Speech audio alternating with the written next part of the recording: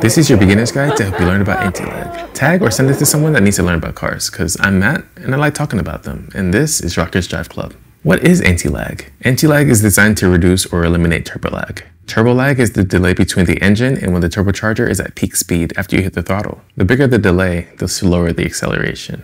The main goal of it is to blow up and then act like I don't know nobody. Ah! Anti-lag is to keep the turbocharger spinning when you're off throttle so that you have peak power while shifting or letting off during or for a corner. While your mom's Accord might have a turbo, it's too small of a turbo to realize any real lag. Like the lag of, let's say, a single turbo BMW 335i or, or big turbo Supra would. Smaller turbos spool quicker than bigger turbos.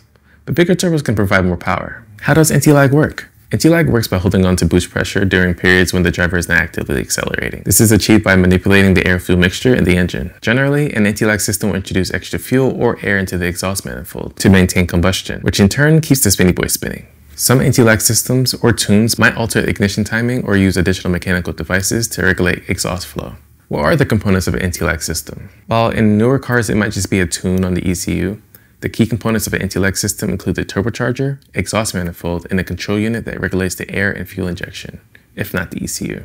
Depending on the type of anti-lag you opt for, it might also involve solenoids, bypass valves, and additional ignition elements designed to manage the combustion process effectively. Why do cars use anti-lag though? Well, anti-lag is primarily used in turbocharged cars, where rapid acceleration is critical. By reducing turbo lag, anti-lag ensures the power is readily available whenever the driver hits the throttle, enhancing the car's response time and overall acceleration. Please note, this only works after the turbo has spooled up, and it doesn't last forever. Which type of vehicles commonly use anti-lag? Most commonly associated with motorsports, anti-lag is also found in some high-performance road cars. Again, this is only beneficial in turbocharged cars. The most popular sport is probably with rally and some F1 cars. You might even have anti-lag and not even know. Your pops and bang tune or popcorn tune or whatever you want to call it is most likely just anti-lag if you're boosted and depends on how it's tuned. These pops and bangs are generally the byproduct of anti-lag. Follow me if you love driving and cars and you want to understand your car better.